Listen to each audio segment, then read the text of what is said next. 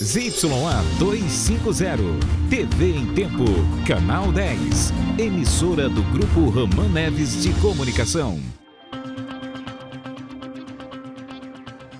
Mais dois detidos, uma mulher e um homem acusados de envolvimento na morte do sargento da PM, conhecido como Caju, são presos. Polícia prende três acusados de matar um caseiro na BR-174.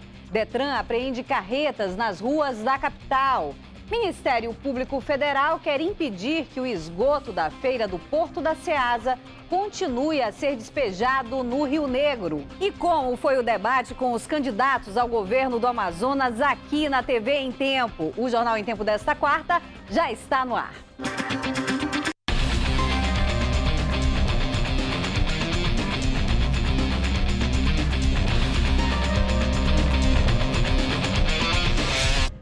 Olá para você que acompanha o Jornal em Tempo pela internet.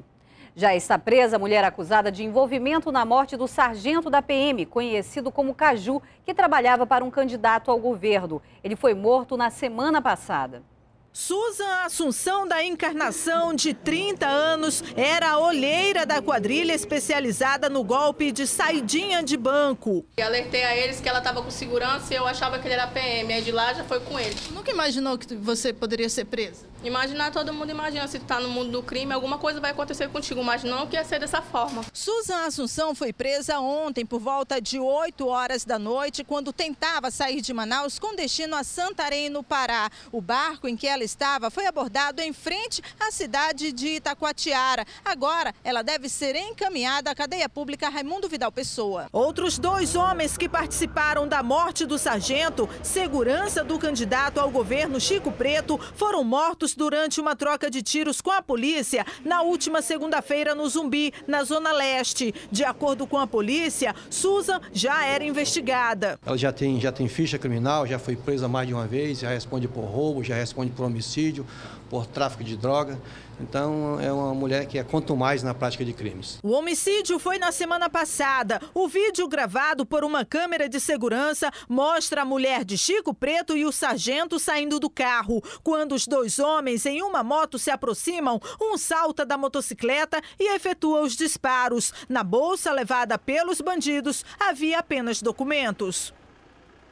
O repórter Amaral Augusto traz informações para a gente sobre a prisão do último integrante da quadrilha. Boa tarde, Amaral. Pois é, Marcela. Jonathan Paiva da Costa, de 18 anos, conhecido como John John, se entregou aqui na delegacia de roubos e furtos porque disse que teve medo de morrer.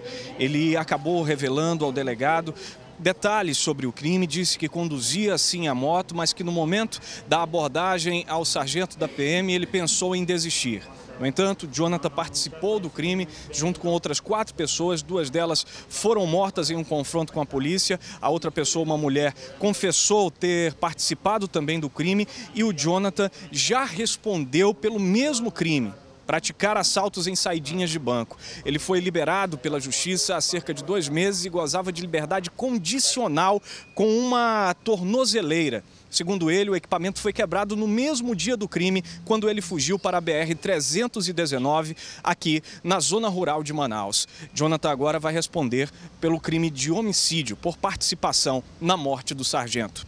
Amaral Augusto, para o Jornal em Tempo. Obrigada, Amaral. E três homens foram presos nesta terça-feira. Eles são acusados de ter matado um caseiro no mês passado no quilômetro 10 da BR-174.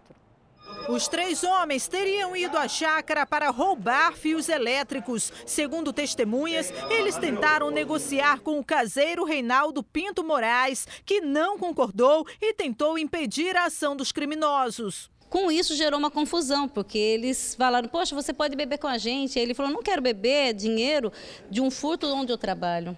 E ele foi leal até o trabalho dele, e com isso os, os rapazes saíram, pegaram terçados e cortaram, os três pegaram terçados e cortaram a vítima todinha no terçado, com raiva da vítima ter negado o furto dos fios para venda. De acordo com a polícia, os três homens estavam escondidos em uma casa perto do local do crime. Um deles, Paulo Afonso, teria problemas mentais. Por enquanto, para nós, ele é um cidadão como outro qualquer, cometeu um homicídio, é, está com mandado de prisão expedido contra ele, fomos cumprir e colocaremos eles à disposição da justiça.